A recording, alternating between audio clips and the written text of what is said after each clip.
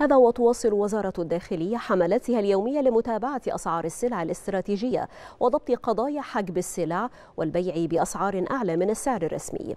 تمكنت وزارة الداخلية خلال 24 ساعة من ضبط 488 قضية تموينية بمضبوطات بلغت قرابة 152 طن مواد غذائية وغير غذائية. وفي مجال الاستيلاء على السلع المدعومة تم ضبط أكثر من 67 طنا. وفي مجال عدم الإعلان عن الأسعار بقصد البيع بأعلى من السعر الرسمي للسلع الغذائية والغير غذائية تم ضبط أكثر من 84 طنا. وفي مجال قضايا المخابز تم ضبط 719 قضية من بينها 55 قضية خبز ناقص الوزن و72 قضية خبز غير مطابق للمواصفات.